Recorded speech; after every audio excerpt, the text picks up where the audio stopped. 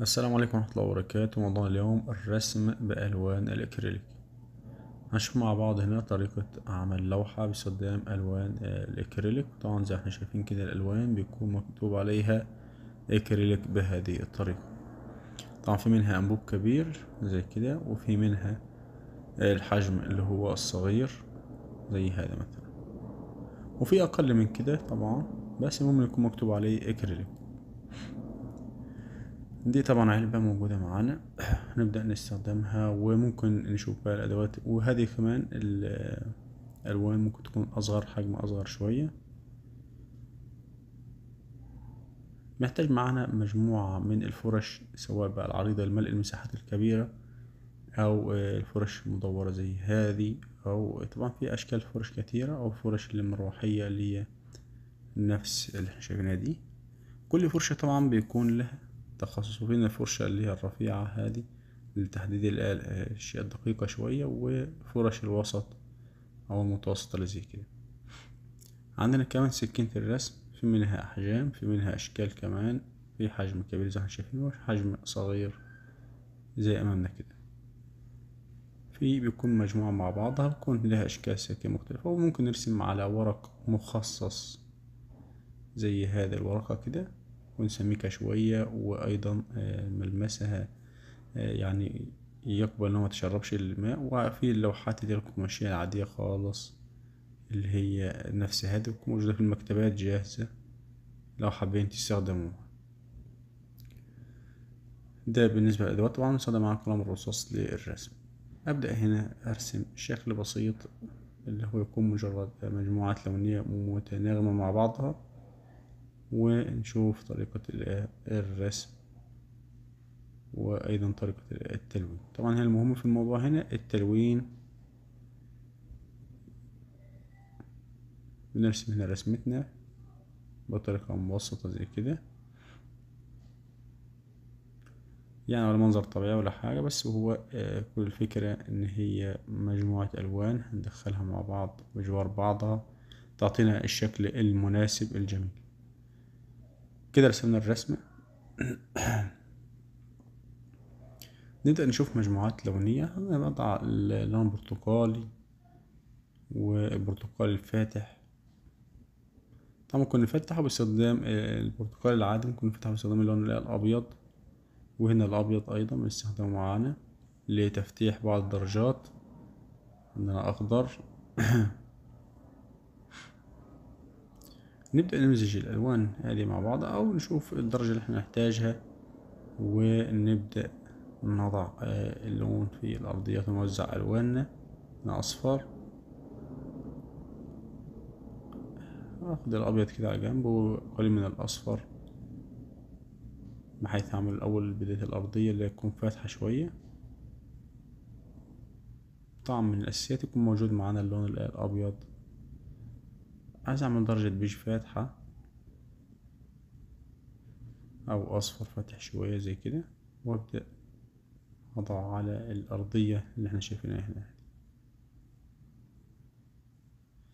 طبعا لازم يكون عندي خطة لونية إن أنا ألون هنا بلون على الشكل عادي بس هم يكون الرسم من تحت شافة أقدر أشوفها يعني. عشان لما أجي أكمل أعرف ارسمها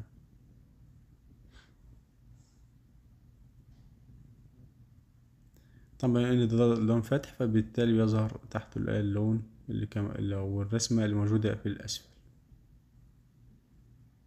هنا الأرض الأرضية دي فرشاة وسط على حسب طبعا حجم اللوحة على حسب حجم اللوحة. الأرضية غالبا بناخدها بالفرشاة اللي هي الكبيرة شوية لكن هنا اللوحة عندي صغيرة مش محتاجة الفرشاة الكبيرة.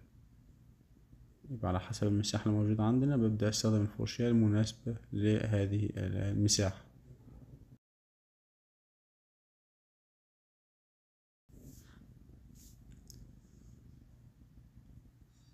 عندي هنا أبدأ أشوف البرتقالي أعمل برتقالي أغامق شوية. بضيف على الأقل من الأخضر عشان أغمقه بهذا الشكل. ممكن نعمله في درجة أفتح شوية باستخدام الأبيض. يعني على حسب الدرجة اللي إحنا نحتاجها نبدأ نخلط الألوان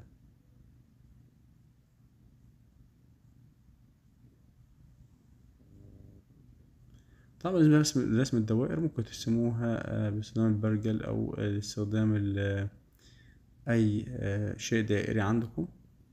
عشان تطلع مظبوطة إلى حد ما.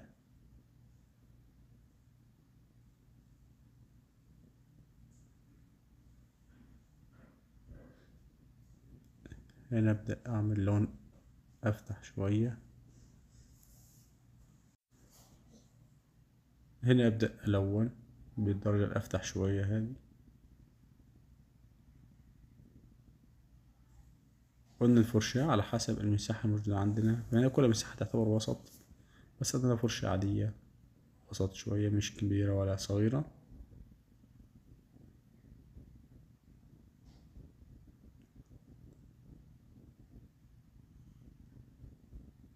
ناخد درجة أغمق شوية للأرضية اللي بعدها.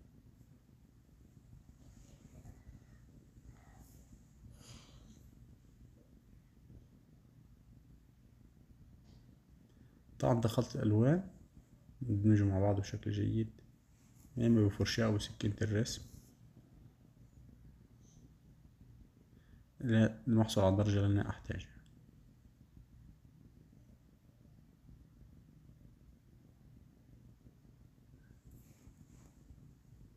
طبعا في ورق رسم يكون خاص بالرسم آه، بالألوان الأكريليك. يعني أقدر أستخدم عليه ألوان الأكريليك. زي الورق هذا. هنستخدم أيضا هنا بقى في الدرجة الأخضر الفاتح أو اللون الزيتي الفاتح. بدمج ألوان مع بعض عشان أطلع الدرجة اللي أنا أحتاجها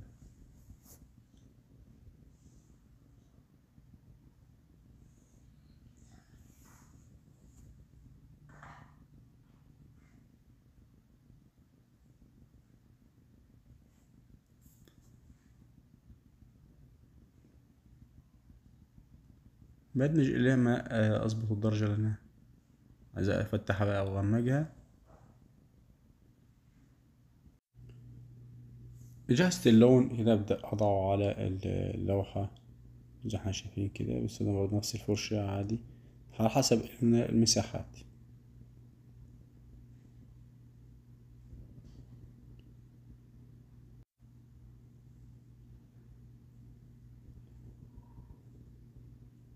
بعد ما انتهي من تلوين الأرضيات ببدأ أرسم الشكل اللي هو في الأعلى اللي يكون ظاهر في الأمام يعني اللي شكل أوراق أو غصن النباتات هذا.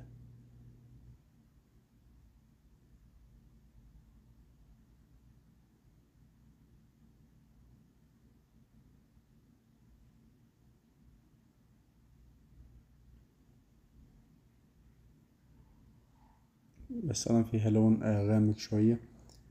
آه، لون آه، فبخلط مجموعة ألوان مع بعضها. زي الأزرق والبرتقالي مع بعض. وهنا أخضر كمان. بحيث إن أعمل مزيج من الألوان اللي هو متناسق أيضا مع مع الألوان اللي أنا وضعتها. في طبعا ممكن أستخدم أسود بس الأسود مش ما هيكون يعني إيه اللي هو اللون القيم اللي إحنا نحتاجه. إحنا عايزين لون يكون متناغم مع هذه الألوان ويكون في نفس الوقت غامق عشان يظهر معايا.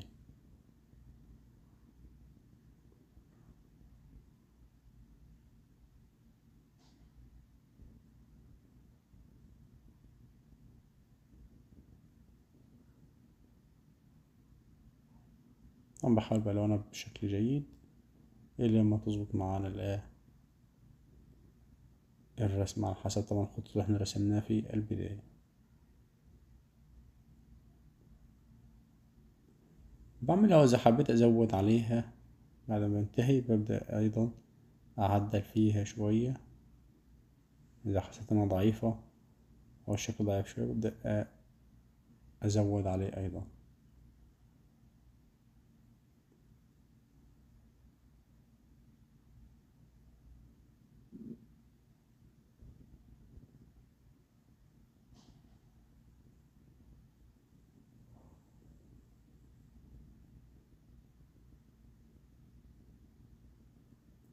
أهم شيء لو ما عندي خلط ألوان أكون عارف أنا خلطت أي ألوان مع بعض أو أي درجات مع بعض بحيث إن أنا لو احتجتها مرة تانية هذا أطلع الدرجة اللي أنا أحتاجها أو إن أنا أجيب مجموعة ألوان بدرجات مختلفة مع بعض. وبكده يعتبر انتهينا وده الشكل النهائي للوحة الفنية بتاعتنا.